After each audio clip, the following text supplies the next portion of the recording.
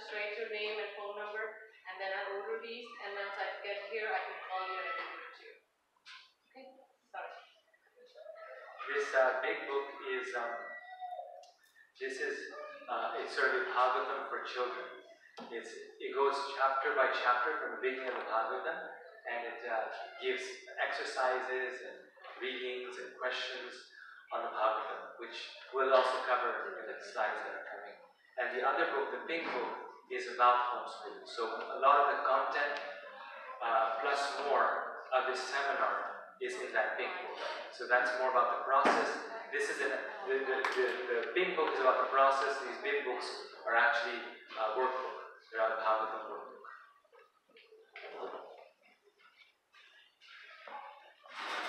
Hare Krishna.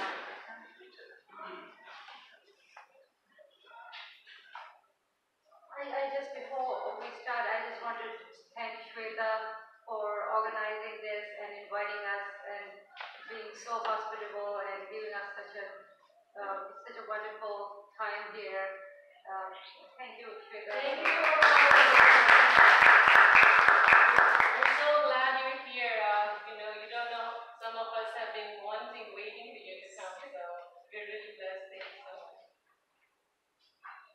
So we'll continue with, I know the time is very short because we have a Sunday program at four o'clock, so we'll try to cover as much as we can. So our next part of our uh, seminar is the second part, books are the basis. And uh, like I was speaking earlier, Krishna consciousness is a whole package. And in order to raise a child, uh, one doesn't, uh, it's nice to uh, do all of these different processes that Prabhupada gave us. In other words, practically, you know, whatever we do has to be backed up by knowledge, you know, why we are doing it, especially for children. Very soon as they become teenagers, they start asking questions. You know, the mind is very curious and immediately it's seeking for answers. So those answers can be, you know, are given in Prabhupada's books so well. And, and then the theory has to be backed up by practical stuff, you know, where you actually, uh, in a practical show what they're learning, what they're what they're reading, that was covered in the first part, you know, the, the practical devotional service, the different processes that we covered in the morning. All the devotional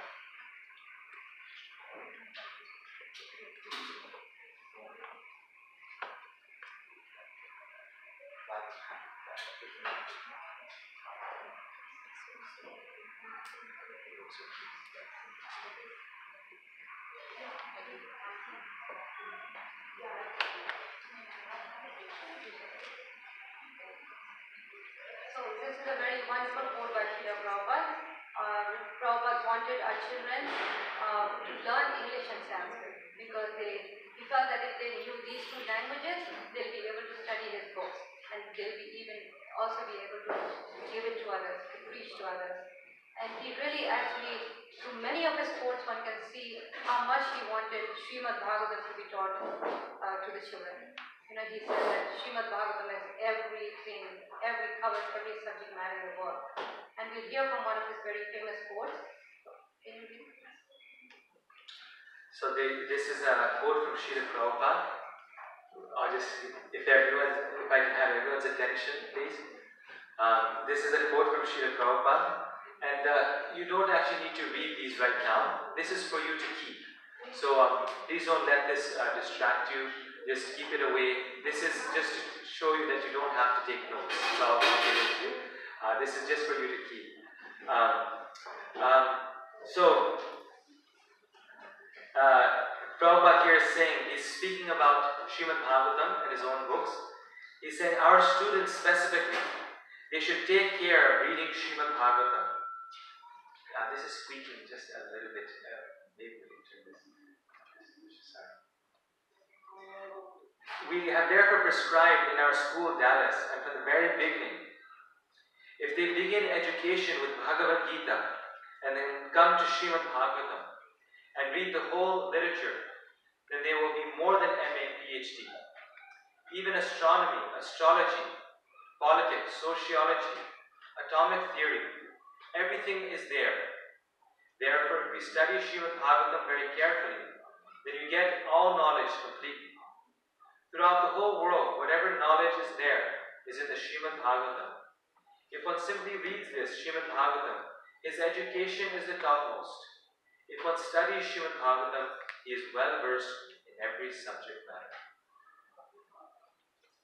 So, um, you know, um, earlier, you know, the educational system was more concerned with how you could memorize different formulas and then, you know, uh, give it in the examination, right? You just simply memorize everything you need to. I remember going to a convent in India, and I remember so much I would have to do, I would sit and just memorize. And when the test, the time came for test, we just had to recall what we memorized and write it down. But gone are those days, right? What the educational systems are now looking for and teaching is how to develop in children the ability to, to think critically.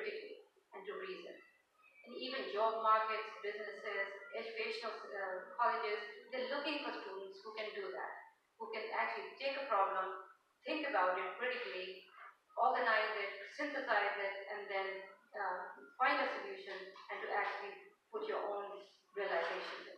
Such a person is considered educated.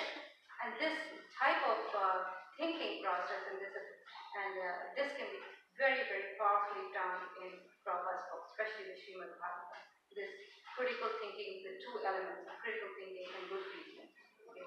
Now, Prabhupada, you can see in this quote how confidently he's talking about how Srimad Bhagavatam covers every subject matter in the world. In other words, no, if you if a child goes through his childhood reading Srimad Bhagavatam, he's pretty much covered every subject matter in the world. Okay. And the and the good thing, wonderful thing about Srimad Bhagavatam is not just the elements, academic elements that we learn from it, but it's also very good, easy for children to digest. It's because in the, it's in the form of stories. Right? Children, you know, you can teach them philosophy for so long, right? Bhagavad Gita is a book on philosophy, and you can, you definitely should give it a try. But when it comes in the form of stories, children immediately want to, uh, it's easier for them. So Srimad Bhagavatam covers in all the uh, spiritual topics of Bhagavad Gita, but in the form of stories. And as they read the stories about these great personalities, some of them are children themselves, right? Dhruva Maharaj, Prahlad Maharaj, it really affects them because they're, they're in, the, in the form of children. And they actually take these lessons from them and actually invite them eventually. Uh, the instructions, uh, you know, eventually become real for them. Initially, they, you know, and they, you start noticing how they're changing, you know, how they're just their character, their, their behavior, their attitude is just changing. It has such a. Because these are not just stories of mythology, these are real, powerful stories of powerful personalities who are, you know, who are real. So when you read about, and Prabhupada would say very confidently about how everyone, every child can become a Dhruva or Prahlad. He was very confident about that. It's not just something we read and think is too high, you know. And I don't know if any of you have ever read Srimad Bhagavatam, but the thinking process is so deep, you know, it's so abstract.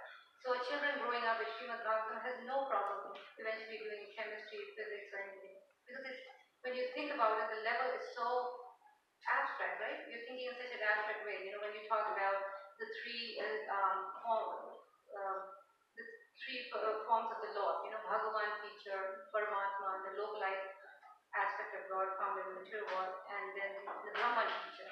Now these are very abstract, um, you know, um, thinking, right? So the child from day one is trying to think in that way. So you can imagine how his mind is being developed in such an amazing way, which no other book compares to. So, um, so this is. Uh, so this is what you know how I was thinking when I was doing homeschooling. I wanted to incorporate this into my children's lives, and uh, so I started out uh, when they were only just five and seven years old. We would sit around in a circle and we would, uh, you know, we would read together, just reading translations, and, and I would open it for discussion. Every few verses we would stop and open it for discussion, and. and, and this way, you know how discussion is such a powerful medium because it really sharpens the intellect you know, when you have a good discussion, the child starts thinking about it. Uh, you know, he, he considers different options.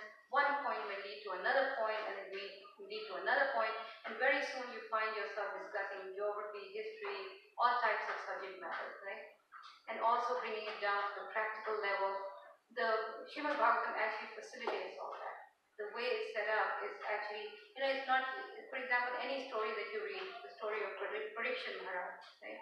It's not just a story about how this king, you know, he was cursed to die in seven days and then how he went to the near the Yamuna River. It's not just about that. It's, it's, it raises a lot of deep questions. Was why did Parikshit Maharaj, even he was such a great king, he got hurt? How come he did not do anything about it? How come he did not reverse curse? How come? What was this amazing thing And how it took that curse as a desire of the Lord? So many deep things. So every story is giving, is raising some deep questions with deep answers.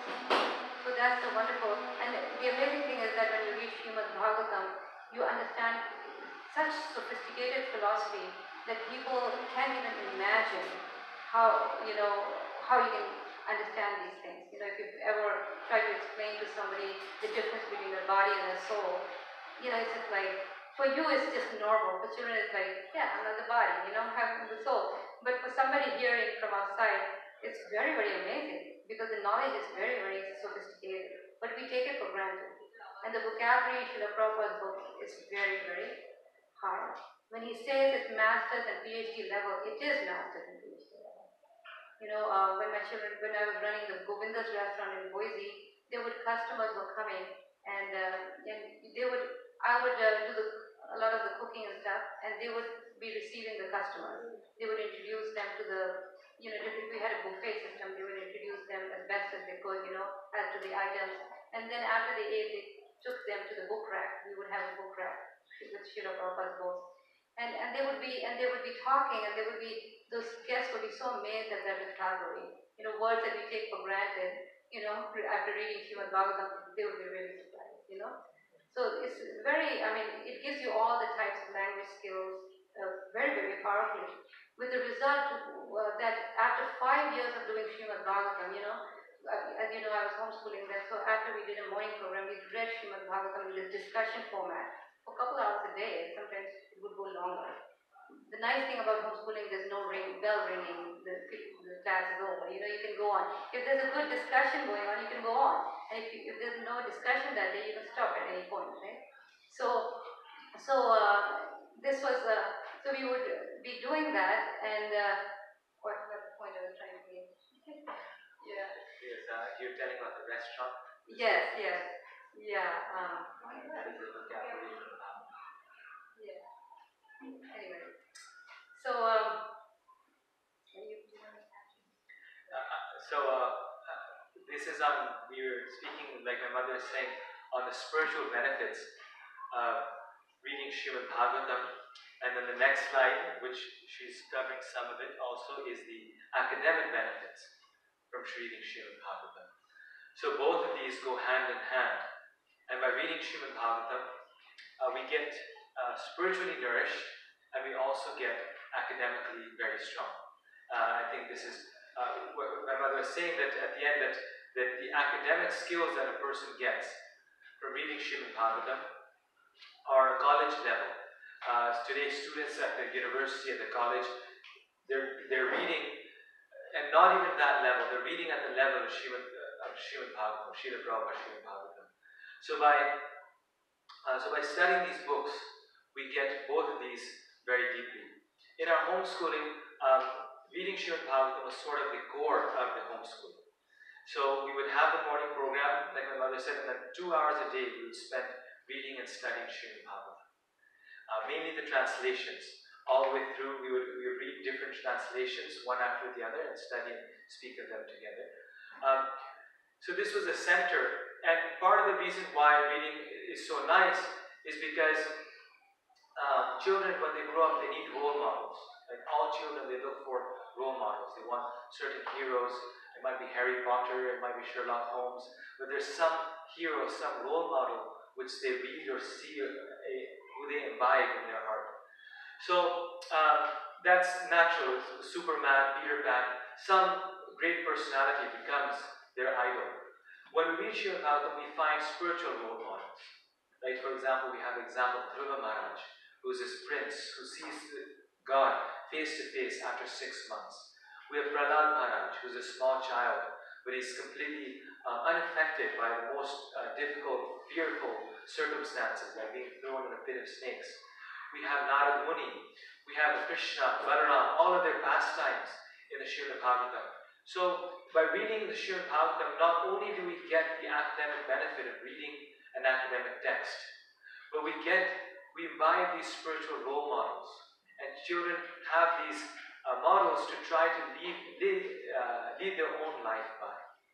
Because what's special about um, what is special about uh, these books as opposed to other books is that when we read spiritual books, it's not just that we hear about the role models or we hear these stories, but we actually have the opportunity to enter into these stories. In the example, in the case of spiritual narrations like the Bhagavatam, in these things. They're, they're spiritual, they're living. So by reading them, we actually enter into them. Our mind, our consciousness, everything becomes absorbed in them, and the reader starts to get the qualities of the people that they are reading about. We see that even in material life, but it is all more the case in spiritual life. We read the story of Dhruva Maharaj, we get knowledge, but we also start to become like Dhruva Maharaj when we read his story.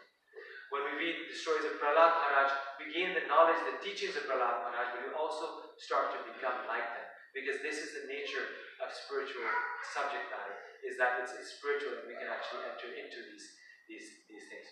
So, therefore, Srila Prabhupada, um, uh, he's, he's mentioned that how in the beginning of the Bhagavatam, he mentions how if one seriously studies the Bhagavatam, he says, the reader can understand every psychological situation in the world. The nature of the Bhagavatam is that it deals with all the situations of this material world. Uh, family disputes, family troubles, uh, conflicts, conflicts between father and son, husband and wife, uh, conflicts in societies between kings and subjects. One can understand every uh, psychological situation in the world, and then through the lives of these saints, we can understand how does the devotee respond to those particular situations. How does a devotee actually, how is he able to respond to those situations in a Krishna conscious way? The examples of which we'll discuss later on. How did Dhruva Maharaj respond to a particular situation? Or Prahlad Maharaj, or, or uh, Mother Parvati, um, uh, in the case of the story of Daksha and Sati. How did they respond to these different situations? We can also imbibe that and learn that. And most of all, it gives us spiritual energy. We, we get the academic education, we have to read something, right, to learn how to read. But uh, Prabhupada says that simply by reading, for example, the narration of Dhruva Maharaj, he says just by reading that story, one will gain the inspiration to become more serious in one's Krishna consciousness. If one reads it, one feels more inspired in one's Krishna consciousness. Uh, it's described that Lord Chaitanya, he gave the perfect example. As a child, he was uh, you know, playing, and he was God uh, playing in this world. And it's described that as a small child, he heard all these narrations of the Bhagavatam, so many different ways. But particularly, he heard two narrations again and again, over and over again. Two stories over and over again. Hundreds of times is described. Which are these two stories? The story of Prahlad Maharaj and Dhruva Maharaj, yes, these two narrations. So they're very special, they're specifically meant for children. Prabhupada said by reading these, we start to um, gain the academic skills. Of all the academic knowledge is available through the Bhagavatam, like we're reading, but, but uh, like we were seeing Prabhupada saying, we also get that spiritual nourishment. So I, I just wanted to add to that and say that how in a homeschooling, there, we were just really, I was teaching Srimad Bhagavatam and math. You know how Srimad Bhagavatam it became the basis for all the humanities because humanities means you have to learn language skills, vocabulary, you know, good speaking, and all these uh, humanity areas, right? History, geography. So Srimad Bhagavatam covered that area, and then the math is, was the basis for all sciences.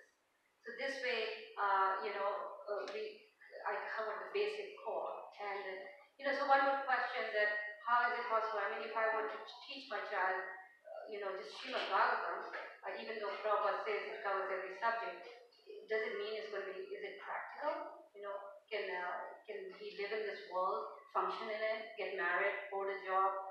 You know, uh, is he, won't he be so cut off from the real world? But actually, the amazing thing about Srimad Bhagavatam that it talks about so much about the material world, the problems and the distresses in the material world, and how to live in it while preparing to go back home, back to Godhead. So, so the nice thing about uh, Srila Prabhupada's book, especially Srimad Bhagavatam, is that the, the philosophy presented there is not dogmatic. It's not like Krishna is telling Arjuna in the Bhagavad Gita, you do this, this, this, because I'm telling you, you do it. Right? No, it's a dialogue between him and Arjuna, and there's back and forth, there's questioning, right? Arjuna doesn't understand something, he says, Krishna, I don't understand what you're saying. Your answers are equivocal. Sometimes you say that I should take, uh, I should uh, be act with intelligence, but sometimes, but then you say I should act. You're saying I should take sannyas, and then you're saying that I should act. So it doesn't make sense to me. He's asking, he's questioning. So Prabhupada writes how when we read the Bhagavad Gita, we are using a, we are worshipping the Lord with our intelligence. So we have to understand that these books are not dogmatic. They are not meant to lead you to some blind, you know, conclusions and, you know, no, it's, it's rational. You know, it, it helps, just like if it was satisfying for Arjuna, if it was satisfying for Arjuna, then it's going to be satisfying for us, right? It was very, very, the Gita philosophy was very satisfying us. So, um,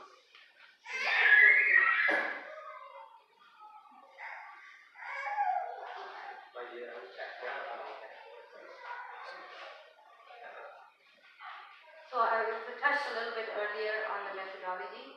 So this was really, uh, it was a process that I'm still applying it and I'm still using it. Now I'm doing it over the phone. Uh, locally I do among some children, but mostly over the phone.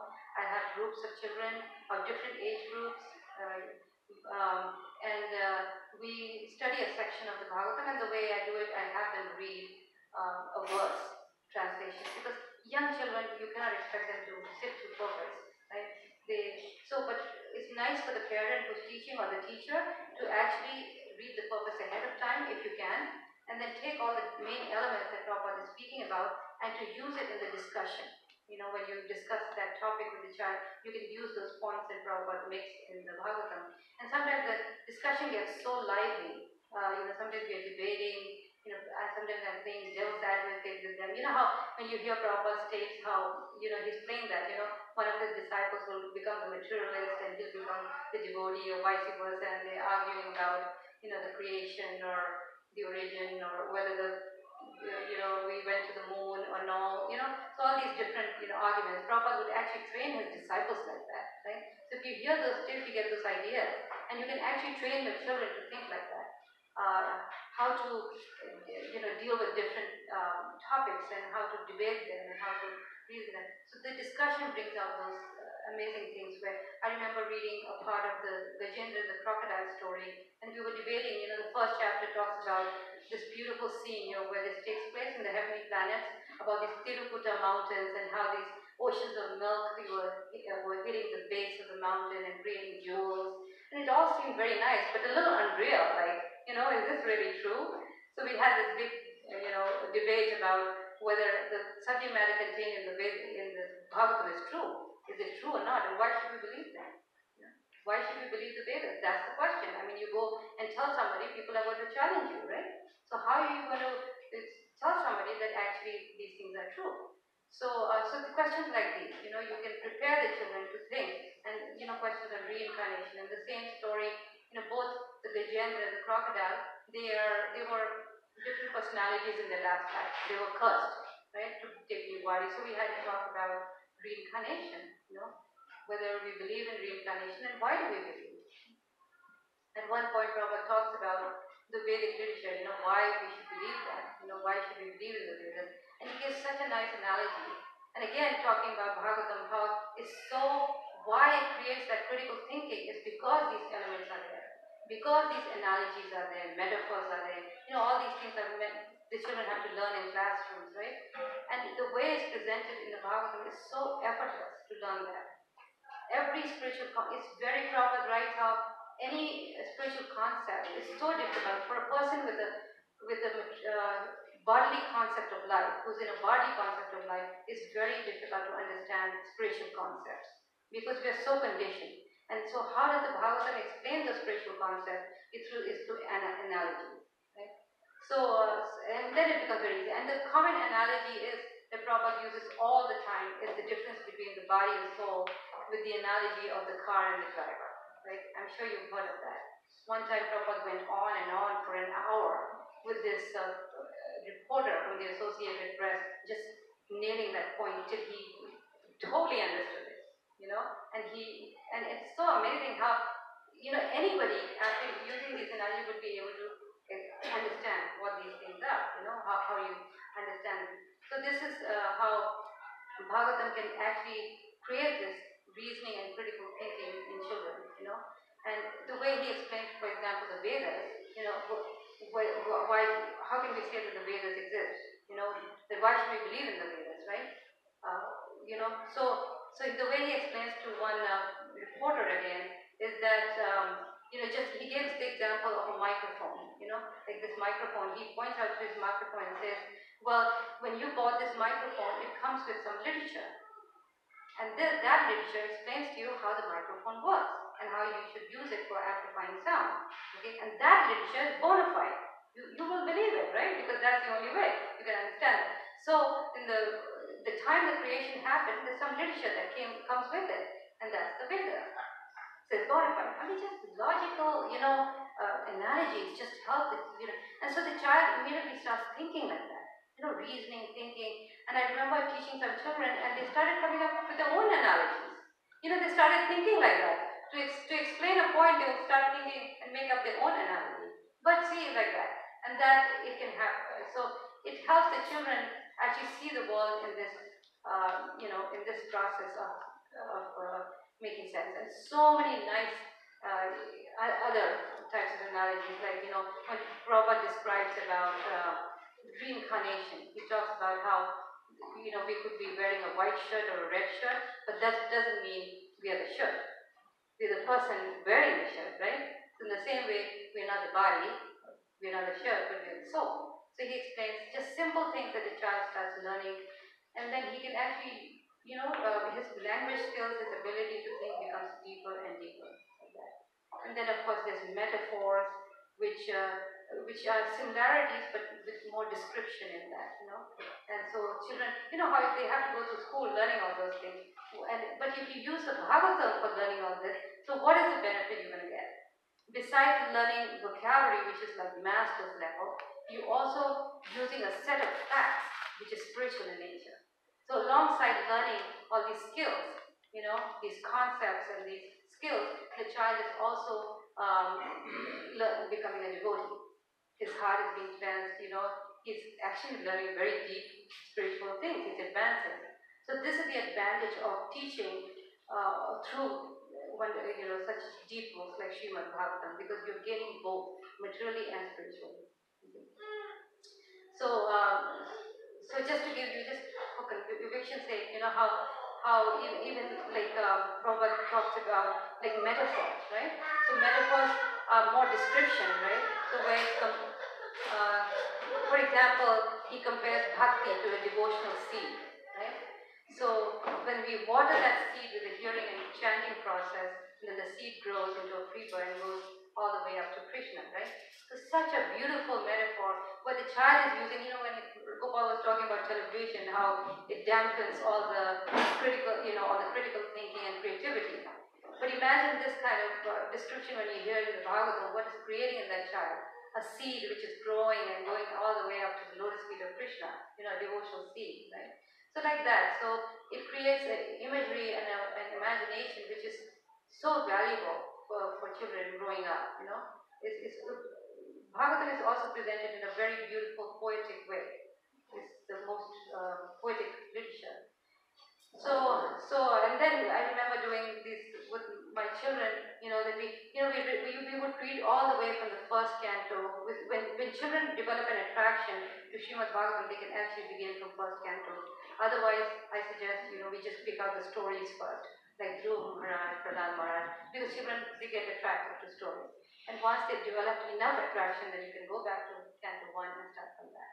And this is why I, you know, to help out with this understanding and to help the parents to, uh, uh, you know, teach them how to teach their children Srimad Bhagavatam from Canto 1. A team of uh, about 15 parents all over the world, we got together and wrote this book on Srimad Bhagavatam just so we could actually provide that facility for parents to actually take help in presenting Bhagavatam to the children in a very fun way, you know. So, uh, and then we would give up, then with these children that I've had for a long time, and eventually when I saw that how they were, you know, their uh, consciousness was expanding, how they were growing and, and you know, expanding so much, then we would go into stories like Puranjan's story and these very difficult topics where parents question whether you can ever teach the children. And it was just so amazing how much they could grasp, you know, understand the allegories, you know, of Puranjan in that story. It's, uh, you know, I had a team of, I, I, I still have a, um, you know, team of 15 children who are older, like between 12 and 15 year olds. And we've been doing from Canto 1 and we're now in fifth Canto. And then when we, we do a realizations class after every chapter, and they, they talk about what they learned and realizations about that chapter.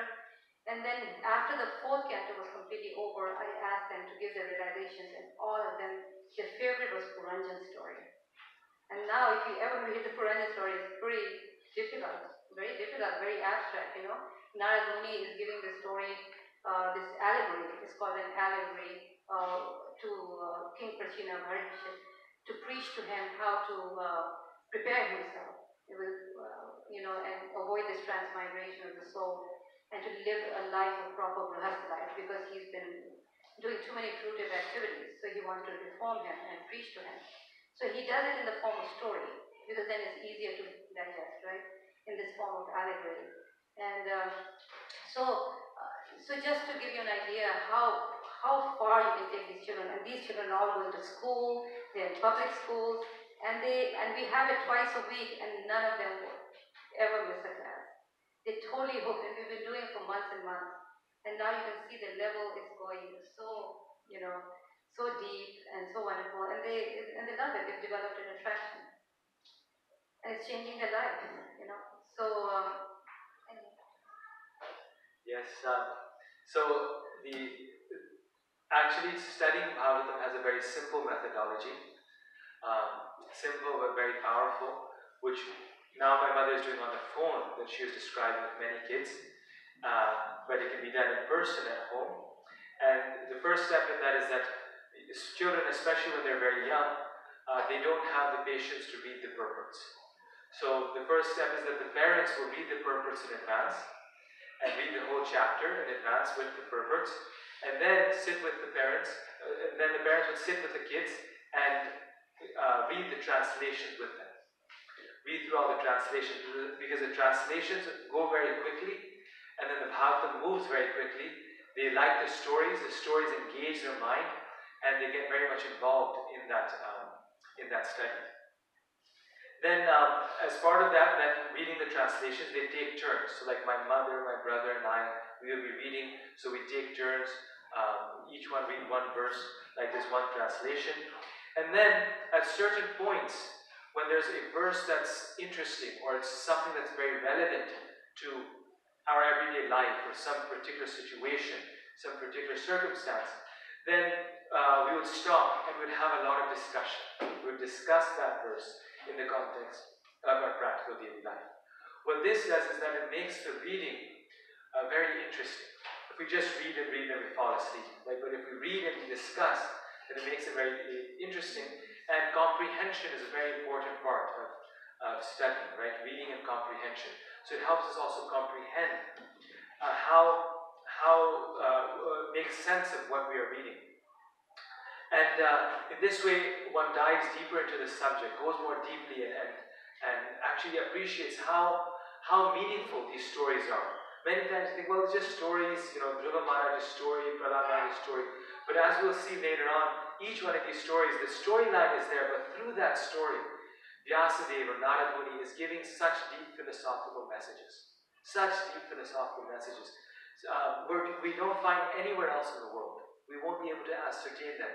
Uh, messages about life, about our relationship with Krishna, about our true position in this world. Such important, um, uh, uh, deep realizations are there of the great sages.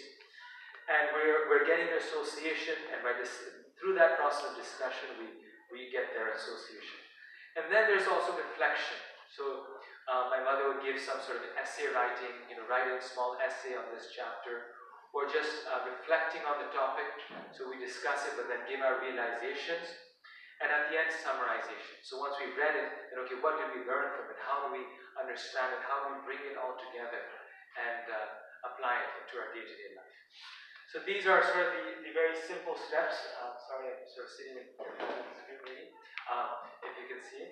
Uh, and these are the, the various steps in, in, terms of reading Srimad Bhagavatam. Actually, one place, Srila Prabhupada says that reading Srimad Bhagavatam is pure devotional service. And he says the only reason why we have other engagements in our Krishna consciousness movement is because he says, because you cannot read Bhagavatam all the time. But if you could, his point is, it's pure devotional service, nothing else is needed.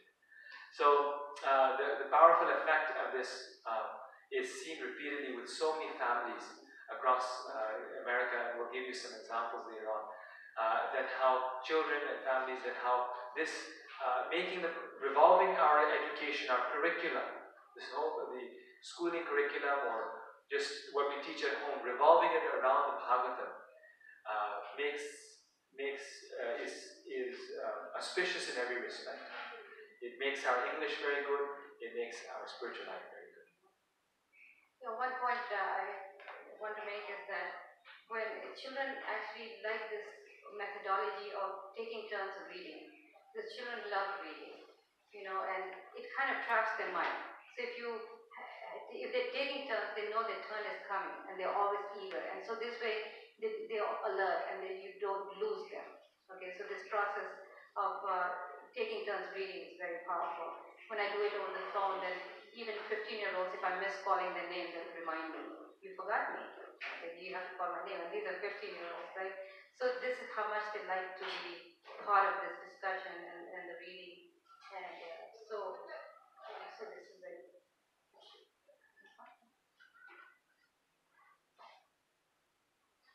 And also one other point is that don't worry about any writing work because the best process is just to read and discuss okay? Because especially if your children are going to school, then you don't want to bombard them with more work. They already have enough. And we don't want to present the Bhagavatam as a chore, you know, like, okay, this is another burden I have to carry. It should be always done in a very fun way and very enjoyable way, and we just read, discuss, that's the end, and, and talk about it, and then we start again. It should be done in such a way that every day the child wants it to happen. He wants the Bhagavatam time. When you see him not wanting it, you know there's something you're not doing right. Okay. See, even if you spend a little time once a week, every day, you know, if people can spare like maybe 15 minutes, 20 minutes, it's still very powerful. It's not like you need three hours or two hours. Okay. Um, but some it was good because it sharpens. Because when you're sitting down and discussing, like I said, so many things come up, and many times you see how children they're not going to open up uh, with you, right? Things are happening in school and you really want to know what's happening, but they don't want to come and tell you about it because they think you won't understand or embarrassed or whatever. But Bhagavatam brings everything out. You know, when you're talking, when you're doing a story, it just pulls out everything out of you. Because you just, that's the nature of Bhagavatam. You know, you're talking about it and you immediately, uh, you know, you, you apply it in your own life, you know. And, and what happens is the relationship between teacher or student or parent or child becomes very, very close. You know, it becomes very close in it. More than any other uh, way you might want to do. You know, people go out bowling together on Saturday nights and do so many things to bring the family together, watch TV together, something. Those things don't, they're not, they don't act to bring people together as much as when you're reading Bhagavatam together. There's something about it uh, with families sitting down to, together and reading a chapter or something like that. It really brings them family together. And there's a connection, you know, because the spiritual connection, the bonds that we have with each with our children are much stronger than all the material bonds we can have. You know, Because we're spirit soul, right? And we're connected to each other in that way. So the so this is amazing how Srimad Bhagavatam can be taught at different levels. Actually, I when I started telling people about this, uh, people became so enthusiastic. Many parents all over the world that they wanted to try it with very small children. So there's a group in uh, UK, England, where they started a club called Baby Bhagavatam Club, and they get together once a week and they do a chapter a week, and they make it really fun and exciting. And these kids are like three year olds, you know and and they made some uh, really nice. They made some nice soundtracks. So I, it's only about a couple minutes long, and I thought it's nice to hear that.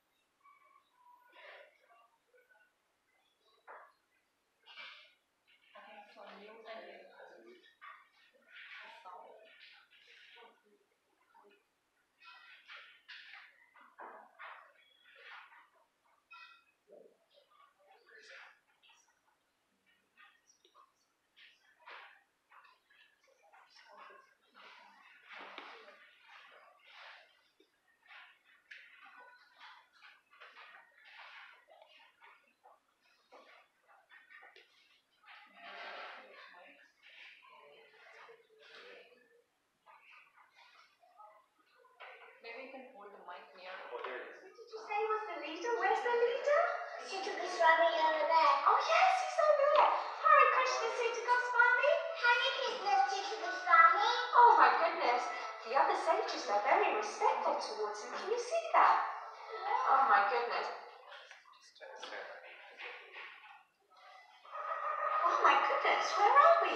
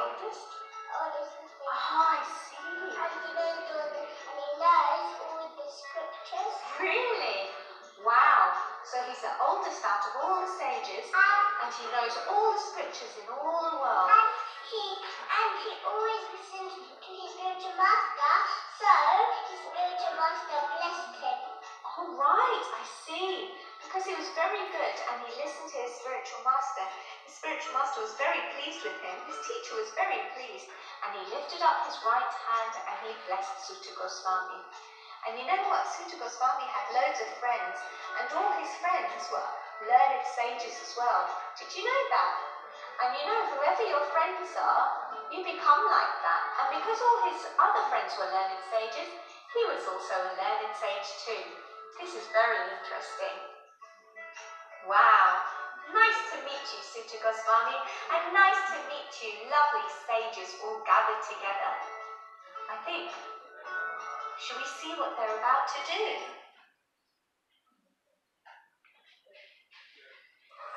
Oh my goodness, where are we?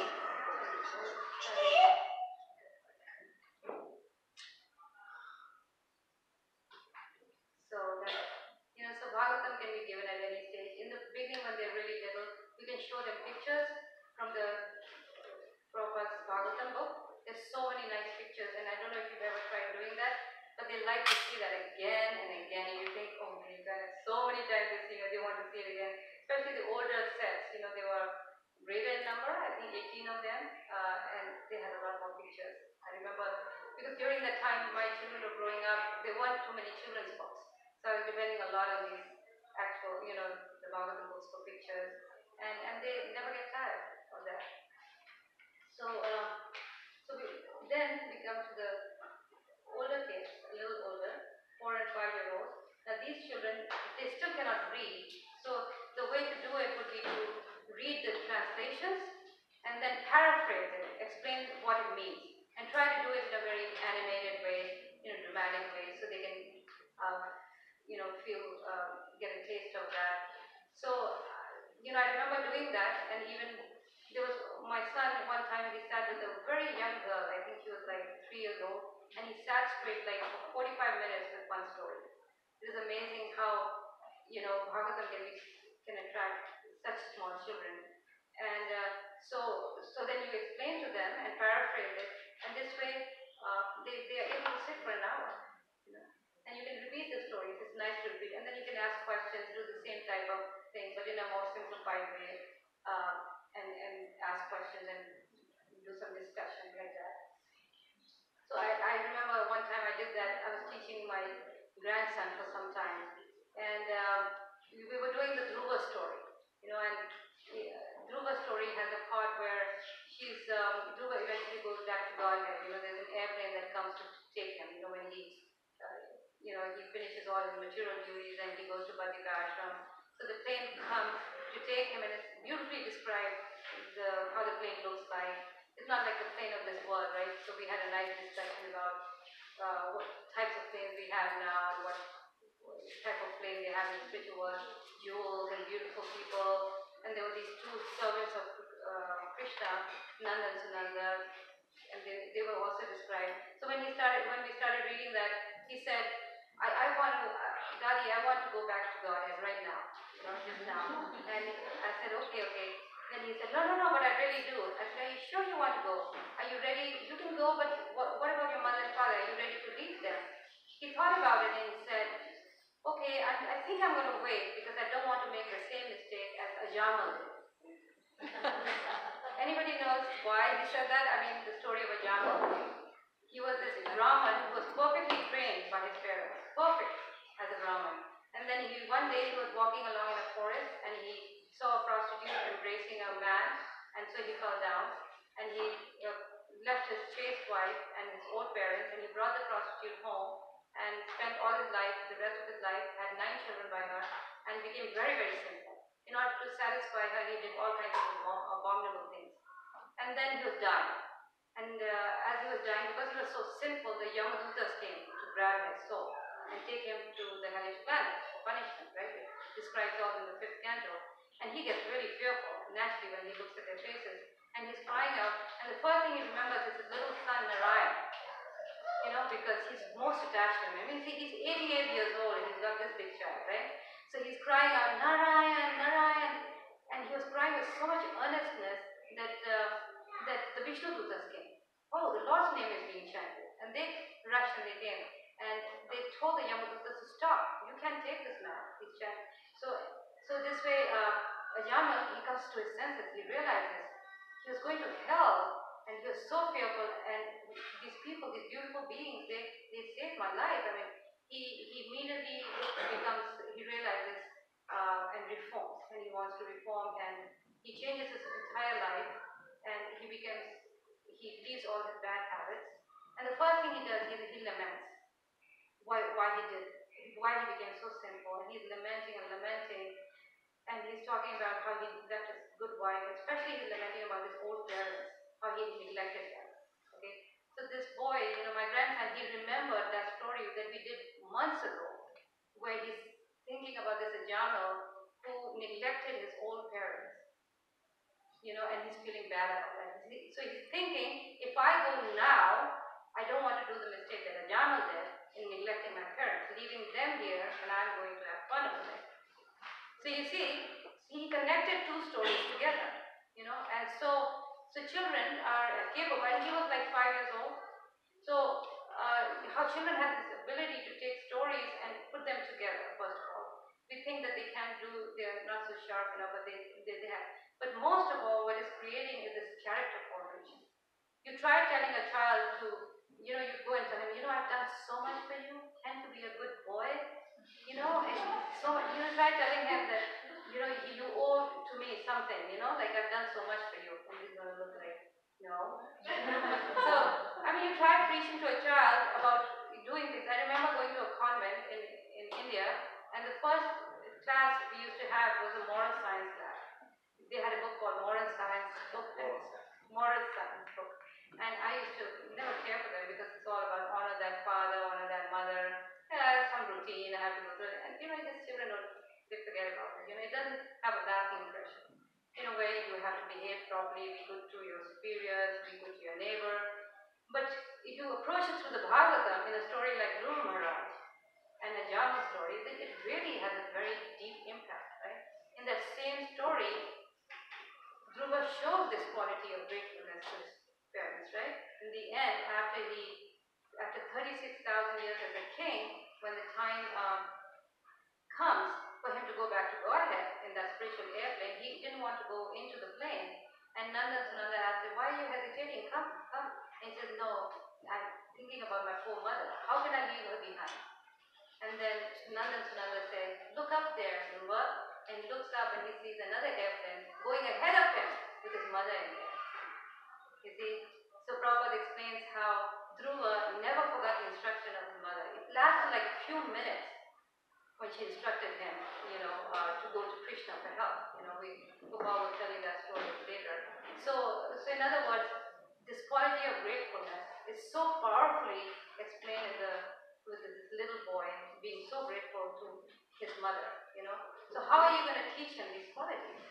It's going to be very hard to do it in in in a you know in a way that if he just preaches them, right? So naturally, qualities uh, uh, most of all Bhagavatam gives love to Krishna, and that same love is naturally directed to every other person. You know, a devotee naturally becomes very kind and compassionate to every living entity because of his love for Krishna.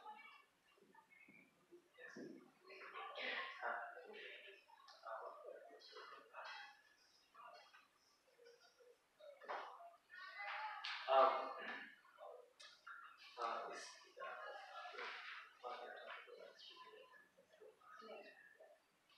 so we also covered uh, this one. Take turns reading the translations. Stop frequently and discuss the story deeply. Questions should not be factual, but those of why and how. Make comparisons with other stories in the Bhagavatam. Relate stories to practical life. So it might be hard.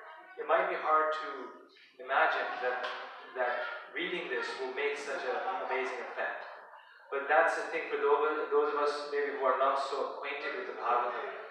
That is the power and the magic of the Bhagavatam. That this is why we're spending so much time on this because it actually does have an amazing effect, and uh, and uh, and we can only experience it when we try it.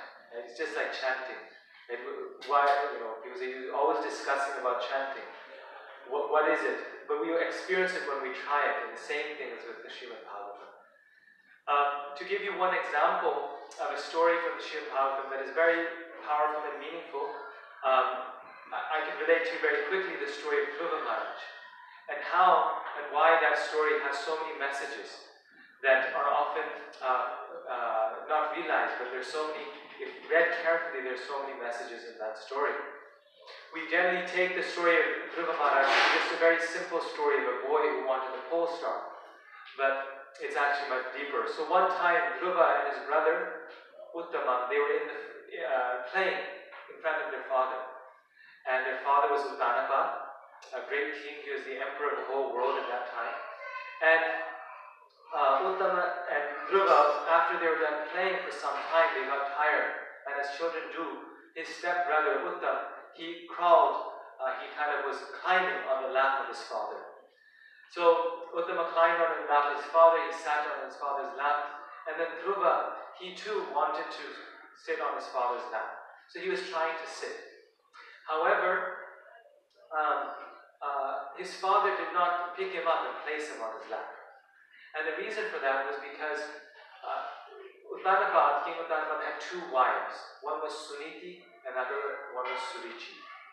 Dhruva's mother was Suri, uh, uh, Dhruva's mother was Suniti, Uttama's mother was Suruchi. At that time, Suruchi was in the room, and Suruchi was a favorite wife of the king.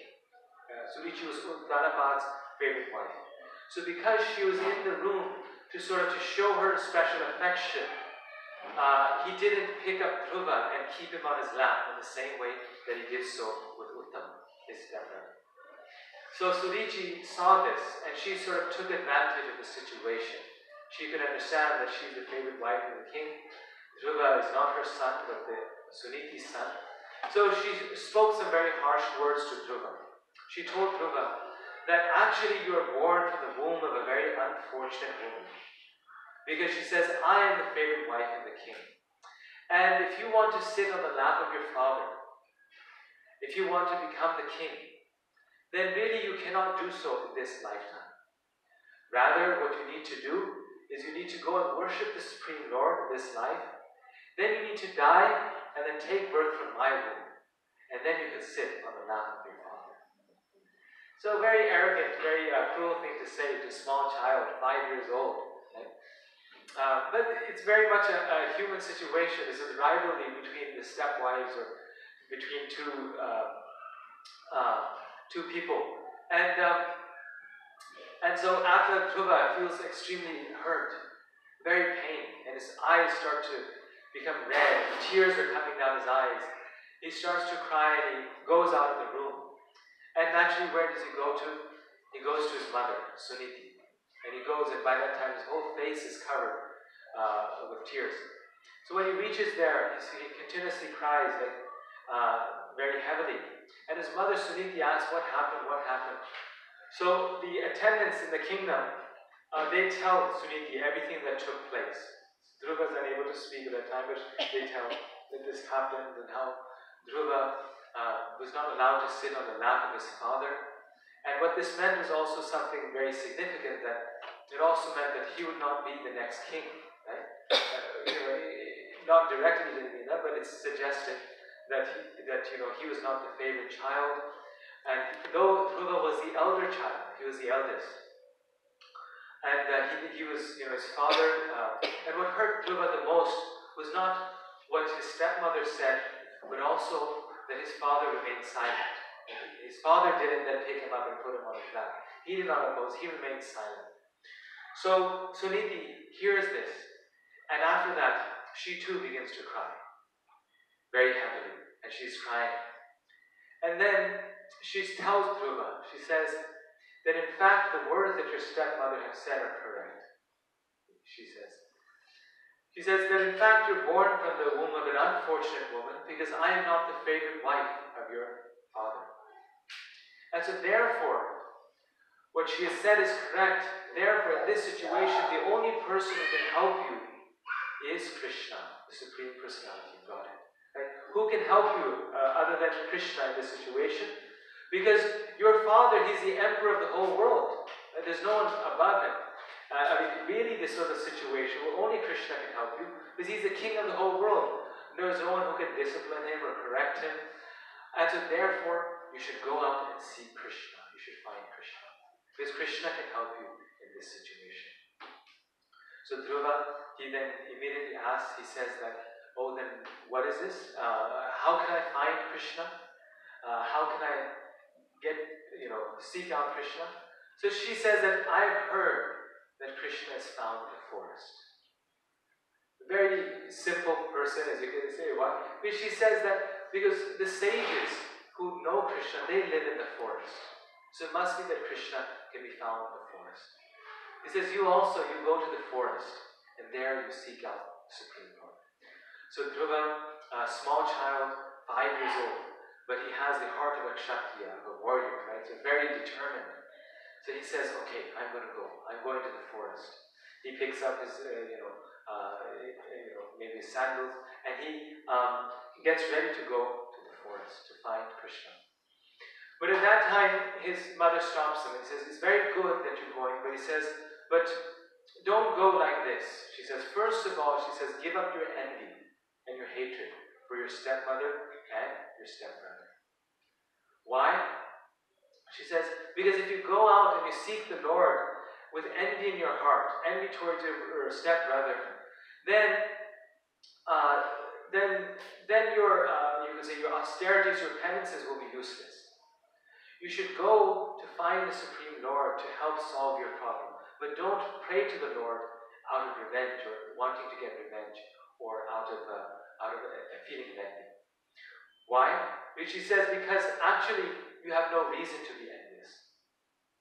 Because um, the reason why your stepbrother is more fortunate, the reason why your stepmother is more fortunate, is because they please the Lord.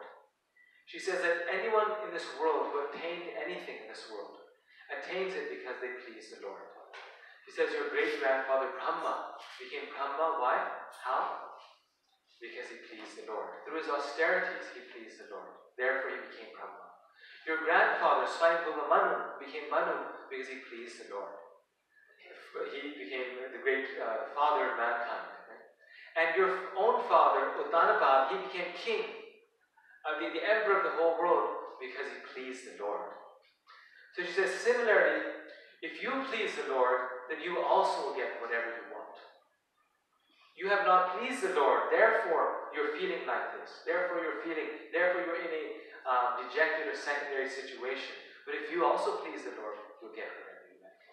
So she says, so therefore, if one is envious of someone else, that is simply due to ignorance. Ignorance of the reality of life. Therefore, she's telling him that you need to understand that the world is perfectly just. Everything in this world is just. All we can do, all we should do to solve our problem is not to be envious of another person, but to try to please the Lord. So she says you should go to the forest, you should find the Lord, because you need someone to solve this problem for you. But go there to please Him so you can get what you need. But, but give up your anger. First of all, give up your envy and then go to the forest. So, uh, this is such an amazing story. After that, Dhruva Maharaj goes to the forest. There he meets Narad Muni. And there, after before meeting Narad Muni and fulfilling his instructions, Narad Muni gives him a very amazing mantra Om Namo Bhagavate Vasudevaya.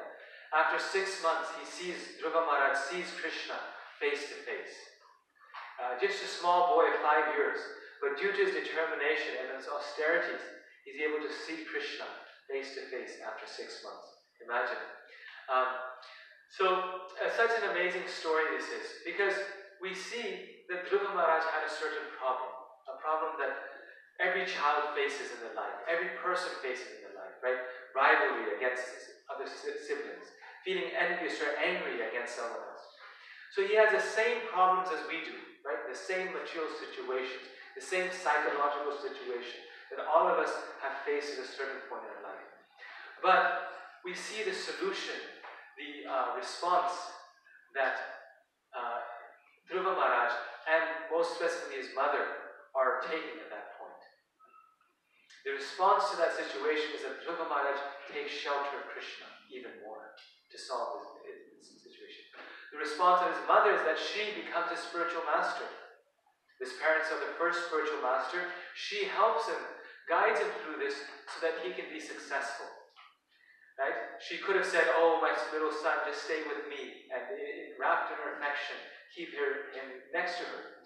But she, being the ideal mother, she said, No, you leave me. You go to the forest and you find Krishna. She thought this is what is best for his spiritual life, and she encouraged him in that way. She directed and gave him the right instructions to do that, to get him. And then she said, she gives him the instruction that don't be envious of anyone. This is how we can overcome anger, envy, even though the fault is of his stepmother and stepbrother. But she's pointing out to Dhruva that you're being envious of them. Because they're obviously being envious of you, but you are also, because you're, you're resenting their privileged situation. And uh, really, that's not the solution. The solution is to take shelter in Krishna. So the message we see is actually so practical. And that's the beauty of the Bhagavatam. It's not just a theory, it's actually practical. And I remember as a child reading this and actually practicing this in my own life. Because I was the younger brother. You know, big brothers always have their, their, their, their, their way. So thinking the same way. That no, um, uh, no need to be envious of my brother. No need to compete with my brother. Because my success is based upon how much I please Krishna. Every person's success in this world is based upon how much they please Krishna. So, a very um, pertinent, practical message that is found. And we see how in modern times it's just the opposite. My success depends on your failure, right? If I have to be successful, I have to push somebody down. But the message of the, of the spiritual message is totally the different. It's totally different. You know, my success depends on how much I please Krishna. And for children to give up this kind of attitude, it really makes their life one becomes so peaceful, isn't it? If we don't have this competitive nature and we understand, you know, why somebody is more fortunate, it kind of solves the whole material situation, right? One can live in this world and be still, uh, you know, be peaceful, be happy. So we go to the next slide uh, where there's some questions. Now, based on what Gopal told you, the story, then we can have these kind of discussion questions, you know, and some simple ones, some direct ones that that relate directly to the story, you know, who, you know, what, Suruchi's arrogance, and um, in contrast with uh, Suniti's behavior. Such a difference, right?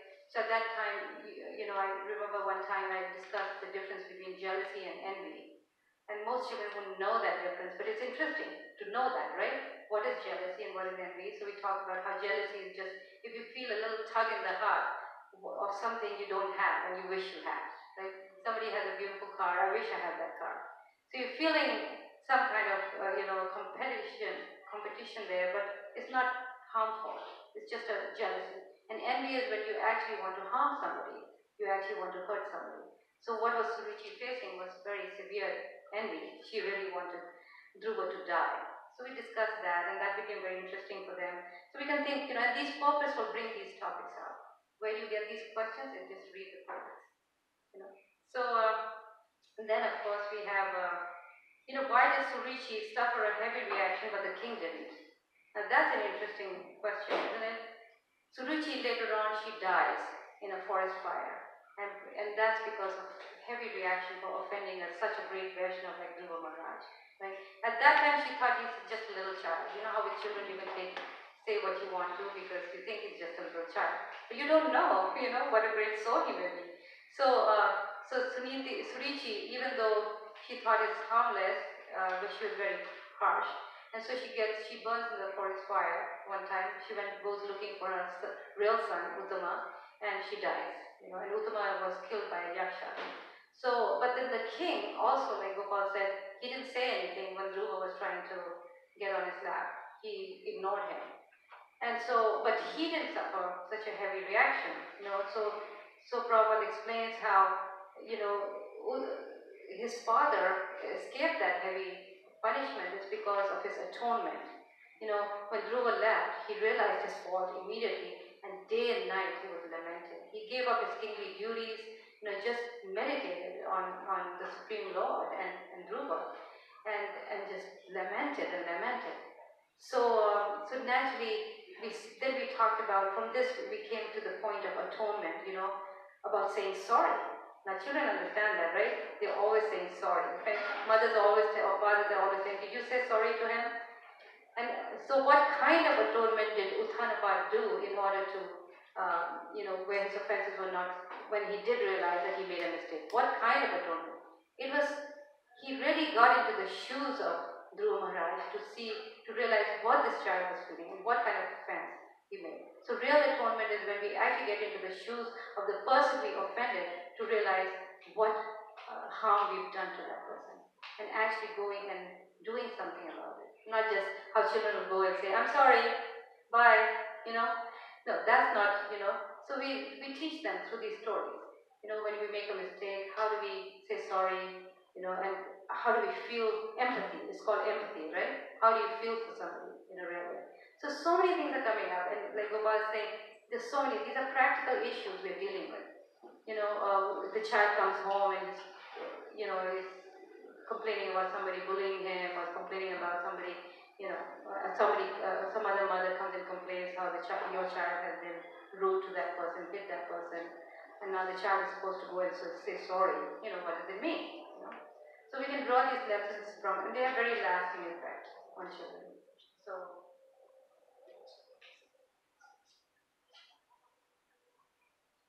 I think the, So these are some questions like for each section, each narration, uh, we can ask what caused Suruchi's arrogance, how did Dhruva and his mother, Suniti, react to Suruchi's harsh words. So like this, these questions make, uh, make us think about the content.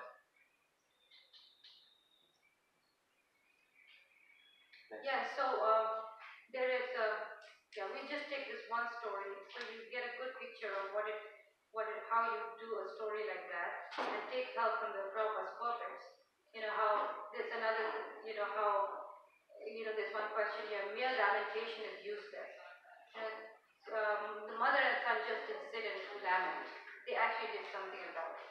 So Prabhupada writes how you know, if we just simply lament, it's a type of maya because we don't want to do anything about it.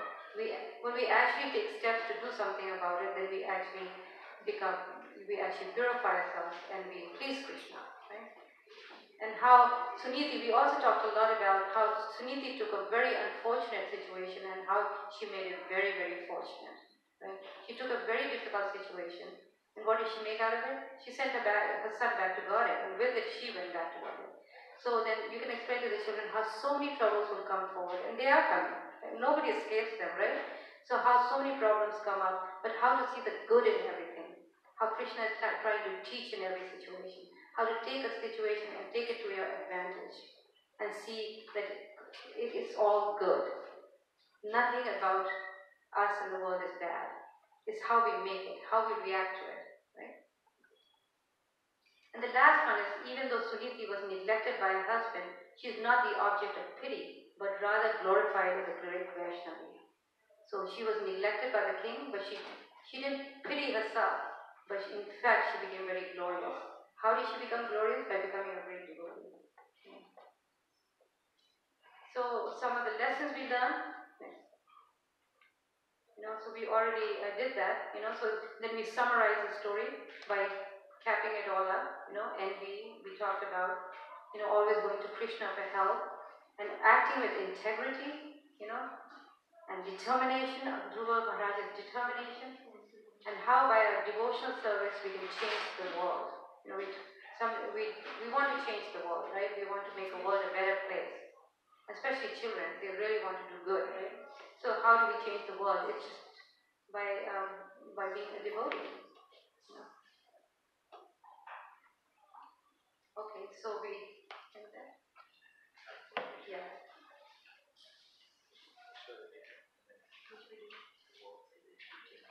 Yeah, so we have one video, small video of this mother who's um, giving her experiences about her own experience about teaching Srimad Bhagavatam to her daughter.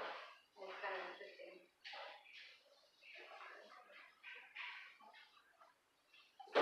So this, uh, the process of teaching, uh, giving academic education through the Srimad Bhagavatam has been uh, done by many families across America, Europe, India, and uh, so it's a tried and tested process. And there's this one family in the UK who are uh, doing the same thing, and uh, you'll see how they're gaining the similar results.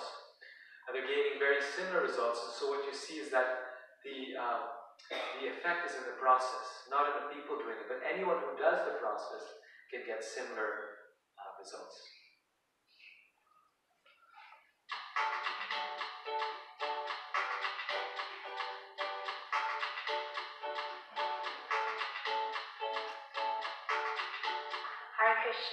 Krishna, my name is Brenda Kishori Devidasi. I'm a homeschooling mother of two young girls and um, we were inspired by Aruddha Mataji's seminars on Krishna conscious homeschooling through the Srimad. So we've um, decided to take the plunge and homeschool, and we've um, been homeschooling for about a year and a half now. The results so far are quite incredible um, that I'd like to share with you. So, firstly, in terms of our Krishna consciousness, it's really feel quite settled and happy in our Krishna consciousness. So we discuss the Srimad Bhagavatam a chapter a day. We read through and um, you know we discuss um, different points that we might find relevant or things that we don't quite understand. There was an instance where my daughter was telling me about some uh, child that had said something about her children. As a mother, what do you say to that? You feel you feel upset yourself. Like, God, what do I say? And I kept quiet. And then she said, "But you know, I shouldn't. I can't have any bad feelings towards towards this person. The Bible tells me that. Where does it Where does it say that? And we'd just finished reading the Dhruv Maharaj story, and she'd remembered that the first instruction that Dhruva's mother, Suniti, had said to Dhruva after he'd been offended by his stepmother was not to have, inflict any um, pain on others, not to have any bad feelings towards others, not to say anything bad about them, you know.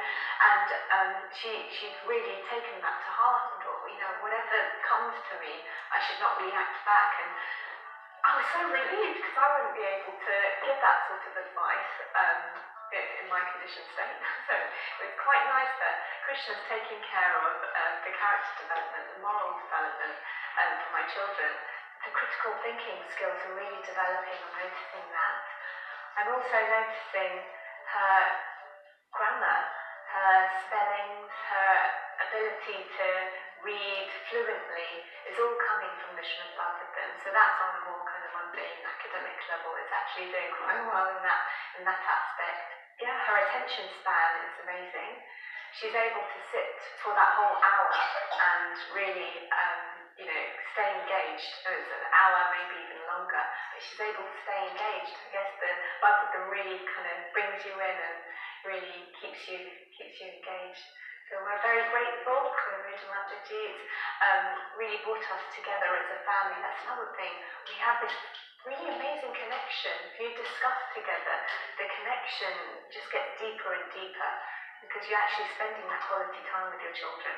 Uh, we found that the um, Bhagavatam, in, in itself as a curriculum, as a syllabus, it seems to fulfill an innate need that no other syllabus or curriculum has been able to fulfill. We've tried other things as well, just in case, but actually none of us feel as happy as when we're focusing just on the Bhagavatam. It, it, um, it really it reaches the heart like nothing else does. I, I feel really, really, really inspired to do another chapter, and I just I, I want to keep reading. I want to keep hearing more and more and more, and I never I, I never want to stop reading. Um, I mean hearing. It's, it's the Bhagavatam.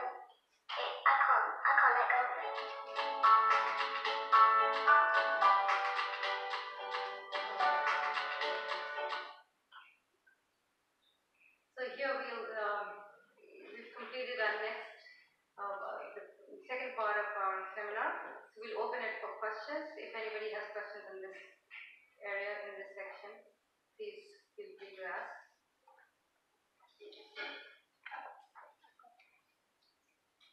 So you're talking about reading Srimad Bhagavatam with, uh, with two, three year olds and that with people in the UK are doing already. So is there by any chance they're trying it out uh, each chapter? Yes. Yes, they're doing per chapter, just making it very dramatic, like you saw. Very, very dramatic, because that's how they can, uh, you know, reach out to little children. Yeah, but not every chapter has a picture. So in that case, Yes, yeah, depends on, but they're trying it out. I mean, you could do with every chapter.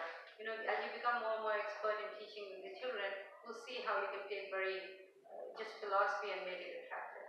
You know, you know, different ways of how to teach them yeah. philosophy.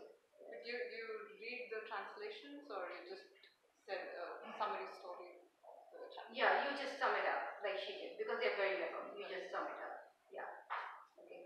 Now these books, the Bhagavatam books, is going to help you because it's giving a lot of ideas. Yeah, For even though it's not for that level children, it's for higher level. yeah. But uh, still, it gives you a lot of ideas that you can actually, uh, you know, take those activities and use it for younger children. That's the wonderful part of this book is that you can use it for children younger or even older. You can, you know, adjust it. Okay. Somebody was something. It's very inspiring about uh, how you said like we can uh, discuss Bhagavatam with our kids.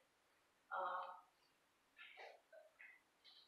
but do all mothers have the same like high intelligence to read the book, understand, and then discuss with the kids? And also, it's like with one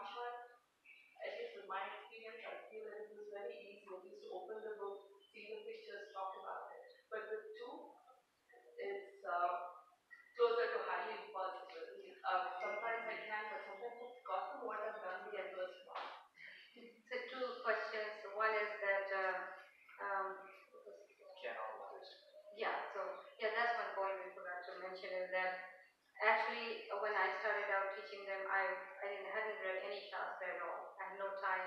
So I was reading with them. They were reading for the first time, and I was also reading for the first time.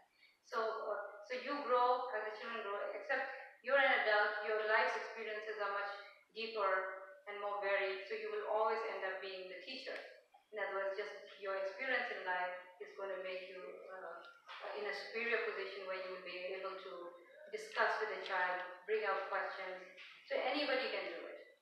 You know, it doesn't matter. And and I remember just being such a neophyte and doing this Bhagavatam, but still it has its impact. Now naturally I've gone, you know, I'm older and I have so much more experience and I've read Bhagavatam so many times, right? So now naturally I'll come up with things that somebody big in it would not be able to solve. But it doesn't matter. The effect is just as powerful, you see? Because Krishna is looking at your effort of, of trying to, uh, you know, give this knowledge to your children. He's very, very pleased. Prabhupada is very, very pleased. And regarding two children, you know, the, the, the younger one, if he's or she is very little, then it's, it's very difficult. Then you would have to find the time when the little one is gone to sleep or something, then you can devote your time to the older one. However, when the younger one grows up, and the younger one suppose is four and the older one is six or seven, like that, then you can teach both of them together. You know, I had uh, so much success with children, teaching children of different ages, really big gaps, because you know you're still doing the same thing, except with the younger one, you can question, put questions directly at him, which is simpler. So he feels a part of it. And, and the younger one always benefits from hearing from older children. You know, they, they learn a lot more, you know, they hear from the others. And the older one, you can put out some more challenging questions. So you can maneuver like that. I did one group like that big difference in age. And you can, the key thing is to trap their attention and don't let anybody slip away. You see? Slip their attention because you have to catch them. And, and you do a few sessions and you get the trick. So it's nice to teach the children together. Even if they are different age groups, you know, it's good to teach them together because they save a lot of time. And they benefit both ways. Okay.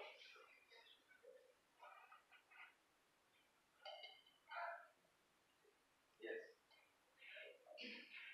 What's the role of uh, Krishna conscious father?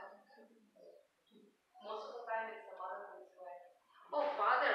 Well, you know, he, what happens is, um, you know, I know my son he comes home, he he always takes the time out to read from the Krishna book to his children.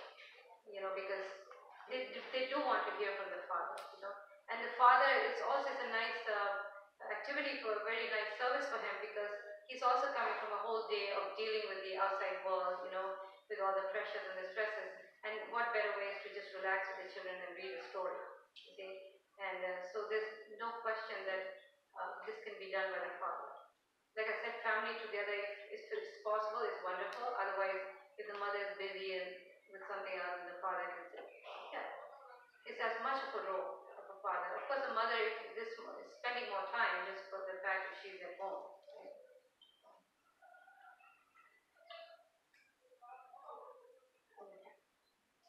as far as possible,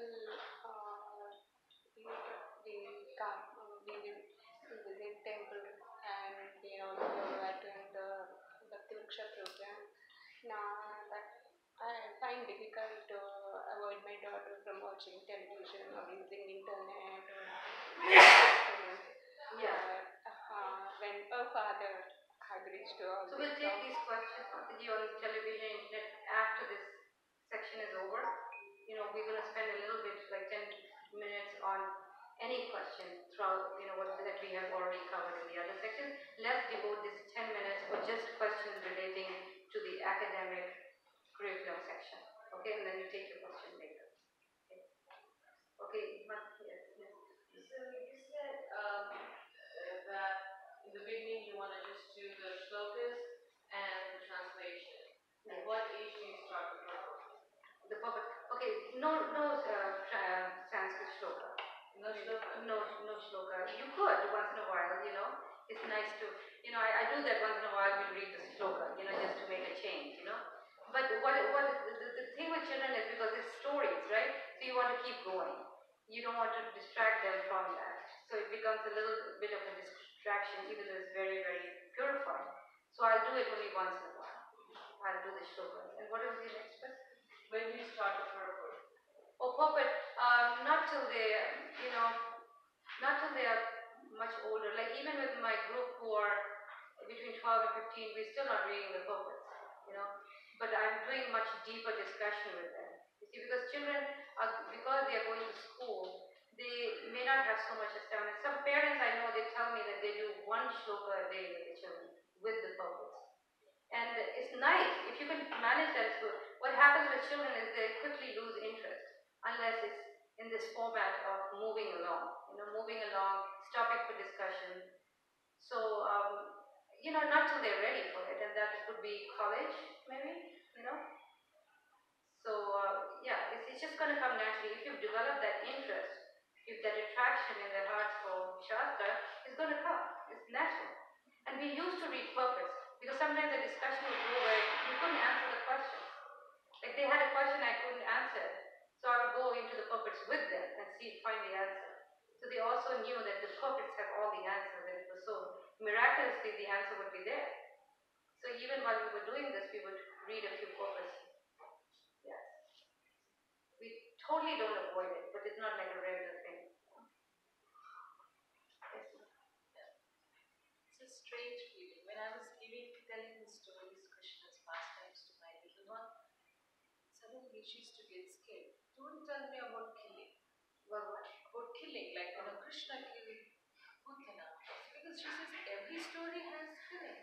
And then, and mostly we end up as per our schedule before going to bed, writing stories. Then it came to such an extent. Don't tell me stories. I'm getting nightmares. And I'm like, what other story? Stealing butter? Uh, all that. Then I said, okay, that's fine. Let me take a break. But it was uh, such a weird thing. So I thought maybe you would have experienced this question. Okay, so this is a very common question parents have is about uh, violence in the Shastra. You know, they they uh, ask that violence. There's so much violence out there. So um, so what about the violence in the Shastra? Is that any different? You know, why should we uh, you know have our children read about that kind of violence? For example, in Krishna book, Krishna is you know killing all these demons in very creative ways. Right? He's taking Bakasur and tearing his beak apart and you know and he's suffocating uh, Aghasur. These are really creative ways of killing, right? So uh, so but the thing is that there's a difference between that kind of violence and the violence that you find today, right? Now we see that in Krishna book how Krishna kills, but is the idea of stopping it. You know, in other words, committing violence for the sake of omitting violence. Right? So it's like removing a thorn with a thorn. And once the job is finished, it's all done. And how Krishna will do the job for you. It's not like you have to go and kill. I mean, you never hear of the cowherd boys going and killing the, the demons. It was Krishna. And they had so much faith in the protection of Krishna, Krishna will do that job, right? So, so the children get that message that one has to surrender, you know, one has to simply have, you know, believe in the protection. Prahlad, you know, he he was being tortured by his father, and Krishna was right? So nowhere do you find where the devotees, and if the devotees are empowered to kill, you know, as in the case of you know, the case of Mahabharata, you know, Arjuna is being empowered by Krishna to kill, but that's a direct empowerment from the Lord, you know. So unless it's direct empowerment and it's a, it's the dharma, you know, Krishna told Arjuna it's a dharma to fight, it's your religious duty to fight. Unless it's that kind of um, duty, one cannot commit that has to be made clear to the children. It comes through to them. Where um, you know the, the violence can only be committed if it's um, you know if it's necessary, only when it's necessary. But in the material world, you will see this violence is always necessary. You're either the victim or you're the perpetrator, right? This is how material world is set up. So one has to be part of that, whether you're on the victim side or the perpetrator side. But what does the devotee do is always Krishna. But the type of violence that you see in today's world is a type of gratuitous violence where there's no sense to it. You know, you see on TV shows, people are killing each other. It's totally senseless. So and so's dying, he's dying. Everybody, you know, is being shot at. There's no sense. Why is it done? For your own sense gratification. So that violence is, is very different. So from the pages of Bhagavatam, children learn violence in its proper place. How violence should be done and what, in what circumstances. The message comes really clear. Yeah, Krishna kills to liberate. So, so his killing is different than our killing. When he kills someone, he liberates them also. Yeah. He gives them eternal life also. So, um, so Krishna's killing is always transcendental. It's like uh, Prabhupada gave examples where when a boy and girl are in love and they might throw little stones at each other to, to get their attention or chewing gum, right, in school. Yeah, so, so that's like that. Krishna, out of his love for his devotee, out of the, his love for a living being, sometimes pinches them so they wake up. So again, it's a matter of understanding. So the children need to understand that Krishna's killing is different than what the violence that you see in television or someplace else. Yeah, so the same thing can be said about sex, you know. There's a lot of references to sex in, in the pages of Bhagavatam, and many parents have also approached me about whether there should be, those sections in the Bhagavatam should be taught. And I, I taught my children all the way through, never ever made a distinction, and the reason is because anything in the Bhagavatam is all transcendental.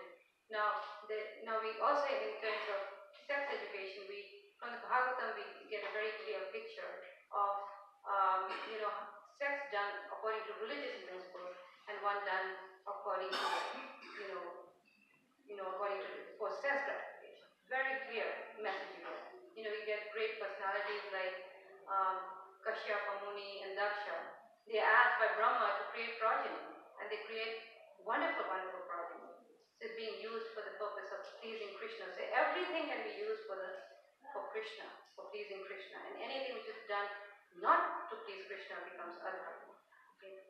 And then you get the other aspects of uh, bad sex life, and that is, uh, an example is the Puranjan story, where you see the lusty relationship between man and women. But then in that story, in that same story, you see the results of such relationship. You know, both Puranjan and his wife, they are attacked by the soldiers of time and death, and they suffer greatly. So the children can see the difference, you know, so this type of education is much better to learn from the Bhagavatam than, you know, because children are going to pick it up anyway, you know. Just by being in the world, they're going to learn all about it. Isn't it better that they learn from the Bhagavatam, where they get the proper perspective, you know, of these things? So, um, and they grow up and they, they're very thankful to you later on in life because they've seen everything as they go out in college and they have these challenges, you know, the attraction between the opposite sex, they have all these challenges. But because you've taught them through the Bhagavatam, they, they can understand you know, the good and the bad. Because Bhagavatam always gives both sides, you know. Good violence, bad violence, good sex, bad sex, all is presented, and it's much, much better to go through that. So we went through every part of the Bhagavatam without distinction. I know Rolly had a question. Okay. You can tell somebody else.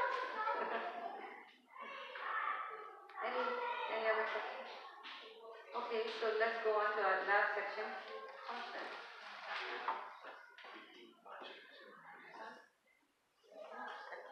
This is the last section of the uh, seminar presentation, and that's preaching is the essence. So, like I said, like I said earlier, how Krishna consciousness, gives us such a wonderful process. Krishna consciousness, this whole package, you know, and uh, there's so much variety in this process. Right? There's so much things to keep our children engaged. Um, so, uh, so we have so we have to understand that education is not just you know in front of